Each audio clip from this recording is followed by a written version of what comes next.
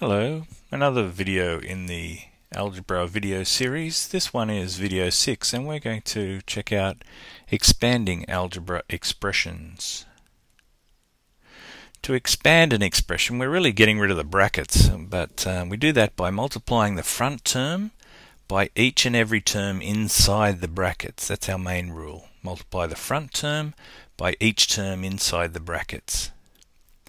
So let's have a look at an example here. We're asked to expand 5 outside of a plus 2.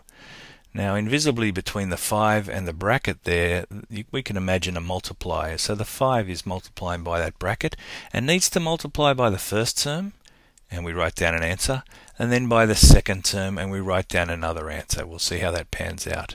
So step 1, we want to multiply 5 by a, and we then want to multiply 5 by 2 to make sure none of the um, none of the terms inside the bracket feels lonely.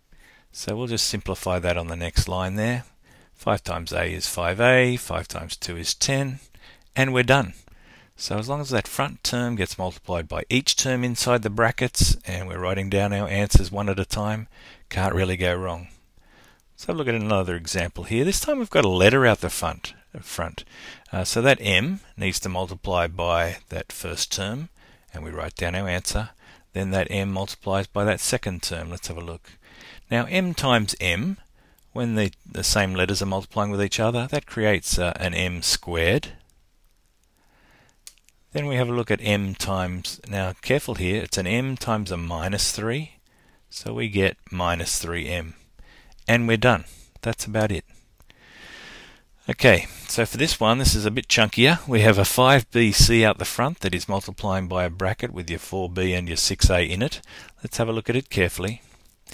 Now, 5bc times 4b. The numbers multiply normally, so 5 times 4 will be 20. And you'll notice uh, that we have a b times a b, so that's why we've made that b squared there. Whenever we're multiplying the same letter, it creates a square or a cube or whatever. And we have a c that's multiplying as well, and that just gets listed there. So that's that first multiplication. We have to do that second one as well every time. So that front term, 5bc, gets multiplied by the 6a. 5 times 6 is 30. And then we just have a b and a c and an a. Now they aren't doubling up at all, so that just gets listed beside it. 5bc times the brackets ends up being 20b squared c plus 30abc. You just have to be a little more careful because there's more terms happening, but I'm sure you can handle that. Okay, so that's how we expand. Um, hope you enjoyed that and hope that helps your studies. See you next time.